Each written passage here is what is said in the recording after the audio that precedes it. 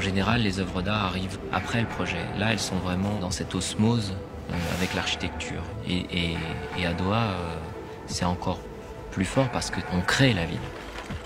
On va construire euh, quelque chose qui va devenir un des symboles de la ville.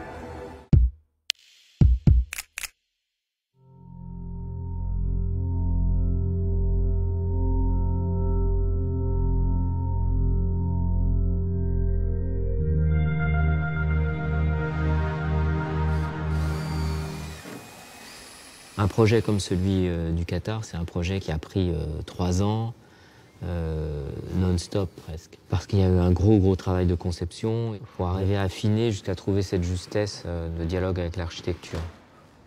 Et ce lagon, c'est vraiment la chose la plus étrange que j'ai trouvée dans ce pays, qui est un pays désertique. Donc c'est autour de ça que j'ai voulu travailler.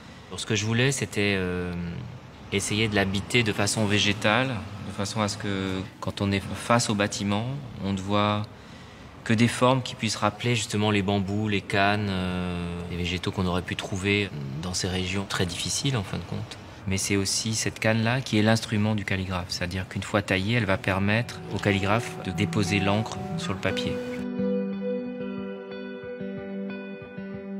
donc l'idée que ces roseaux euh, se transforment en lettres est arrivée par la suite. Ça, c'est le, la vue de trois quarts des œuvres, alors que quand on les voit de face, elles sont abstraites et quand on se promène le long du lagon, euh, apparaissent toutes ces calligraphies.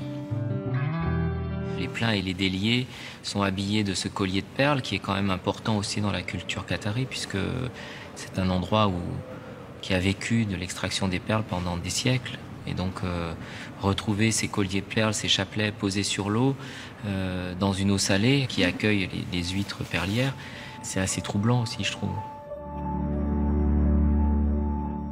Très tôt, je me suis dit sculpteur, même en faisant des choses qui étaient euh, très loin de la sculpture classique.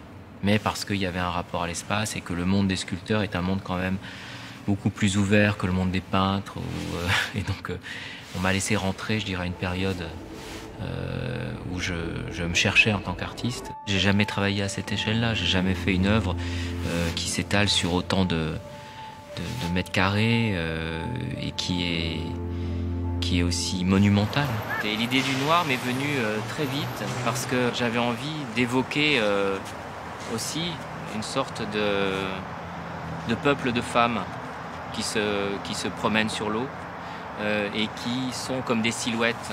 Et ici, c'est vrai que le costume traditionnel, étant ce grand voile noir qui couvre le corps, est très visible. Euh, c'est quelque chose qui, qui, marque le paysage. Et j'avais envie que quand on se promène, il y ait en face de nous comme une sorte de ballet, comme ça, euh, de présence féminine sur l'eau.